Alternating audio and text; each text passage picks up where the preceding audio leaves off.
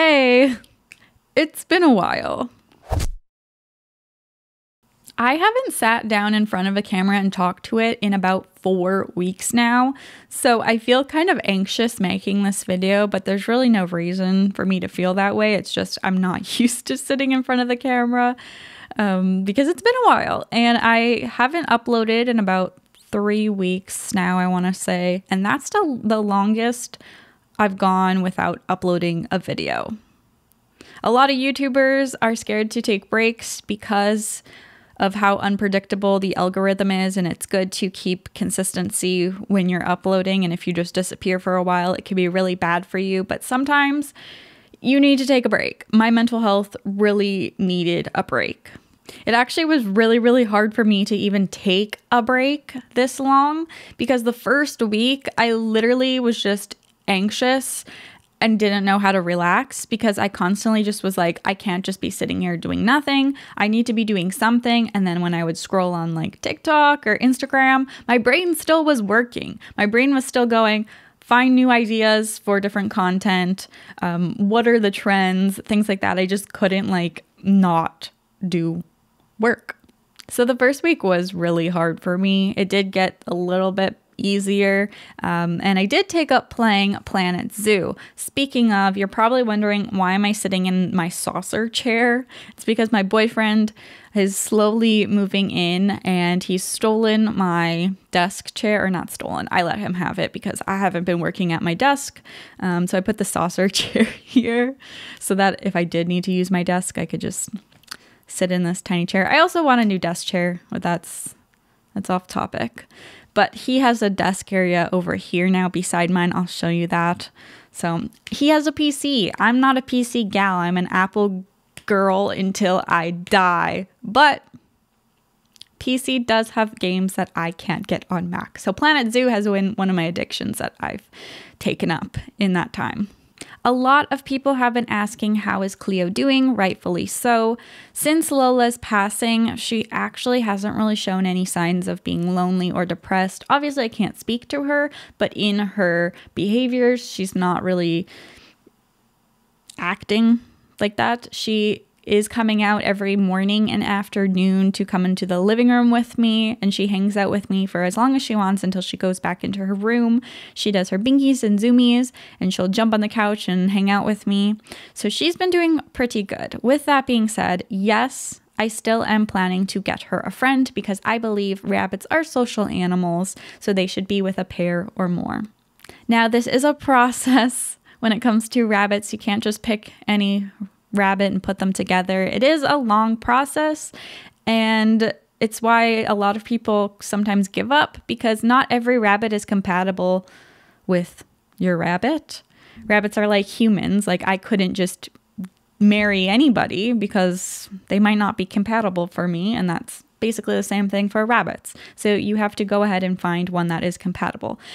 And it can be difficult because you don't want to adopt a rabbit and then if they both don't end up liking each other, then you have to have two areas for two rabbits. So I'm trying to find a place that is going to allow me to kind of do like bunny dating or foster to adopt where I can try and see if they're compatible. If not, then they can go back to the rescue um, until we can find Cleo a compatible friend. I've said compatible a lot of times now.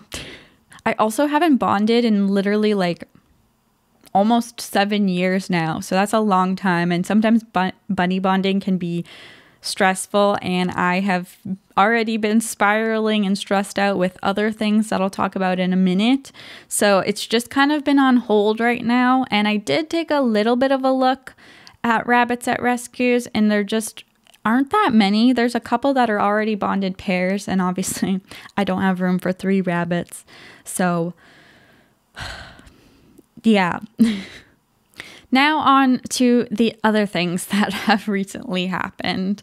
So, forgive me, I don't remember what exact days these things happened on. Everything is kind of just like meld into one in my brain. And it just feels like everything bad that could possibly happen just happened on the same day.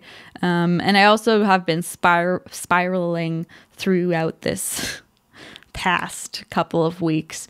So, either a week or two ago, I walked into the pet room and Nickel was awake. And so I went to go say hi to him and he did his little meerkat thing. And I noticed at his genitals, it was red. And so I thought it was blood at first. And I was like, oh my gosh, does he have a UTI? Like, what happened? And then I looked closer and it was his penis.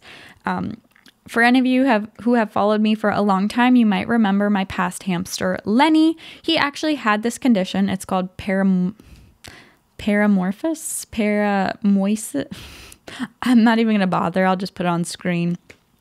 But he essentially had that for his entire time living with me, and he lived a happy, healthy life, with the exception he just couldn't have a sand bath because it would irritate it. So when I did notice it at first, I was like, okay, let's not freak out immediately. Maybe let's give it a little time to see if it retracts back in because maybe he just had it out. Maybe he was excited. I don't know. Um, of course, it didn't retract back in. So I was like, okay, we need to make a vet appointment. And at the time, Penny also, he had previously been treated for Demodex mites with ivermectin, and it seemed to had worked. And then he started losing hair again. The hair on his face was thinning a lot, and he was losing quite a bit on his neck. So I was like, let's bring both the hamsters in. It's a double whammy. Just get it over with, get both of them treated. So I called the vets. They couldn't get me in that day, but they could get me in the next day at 3:20. Bear in mind, I also haven't had a car for 3 weeks because mine has been in the auto body shop. And I don't live anywhere that has like free transportation or like even transportation that I could pay for. I had to rely on my boyfriend to drive me anywhere, which I hated because I just don't like relying on people like that. So, I managed to get an appointment at 3:20 the next day. And so when I went to go get the hamsters into their carriers, I went to get Nickel and I lifted his hideout and he had like squinted eyes. He was shaking and he was very cold. So like I picked him up and I held him and I was like about to be in tears. I was like, I think he's gonna die. Like, I don't know what's happening. Keep in mind, my house was actually warmer than average. So it wouldn't be torpor, which is what the signs he was showing was. So it was very, very weird. Anyways, we got in the car. We're like, let's go to the vet as fast as possible. We get to the vet's the vet that I got was one I had seen in the past with the rabbits, and it wasn't really my favorite vet, but it's besides the point. Um, so the first hamster he looked at was Nickel, and he did not seem concerned at all in his condition, which is crazy to me because he was shaking, pretty lethargic, like was cold, just didn't seem like he was going to even live past that day. And he kept on telling me the prices of things. He was like, Well, because he's so small, we can't really do this. We could do an x ray, but that's going to cost $200. Um, we can, you know, do this, but that's going to cost this much. And it was really annoying because I don't like, usually my vets don't tell me the prices of things unless I ask for it. And I also don't mind hearing the prices of things. It's understandable to tell somebody it but it was almost seeming like he was trying to be like, you know, it's going to cost this much and a hamster costs this much, which he pretty much did say that. He was like, you know, these guys, it co- they cost this much and how much do you want to spend to do that? And I was just like, you're really going to tell me this. So it was just like really upsetting. And he gave me the option. He was like, okay, well, we could um, take him back, sedate him, and push it back in. I, I was like, okay, like let's do that. And it almost seemed like he didn't want me to do that because immediately he was like, well, you know, there's like risks with sedation and blah, blah, blah, blah, blah. So then I just felt like, okay, if you don't want to do that, like I just felt pressured to not do that option. And at that point, honestly, didn't feel comfortable with that vet even doing anything on Nickel because if if you like, I don't know. He also kept asking if the hamsters had diarrhea, which is fair, or if they had regurgitated. Hamsters can't regurgitate. Hamsters can't physically throw up. You're an exotic vet. You should know that very basic thing. So essentially, we just went home with antibiotics and pain medication. Then he looked over Penny Penny is very high energy, so it is very hard to like do an exam on him.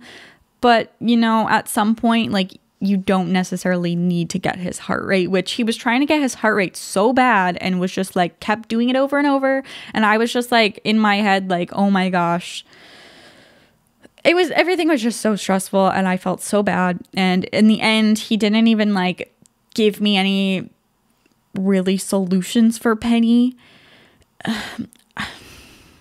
I just was so incredibly frustrated because I see exotic vets all over the world treat hamsters and they treat them so good and they like will actually do things. Meanwhile i have a vet that is telling me we can't do this because they're too small. You know they're too small.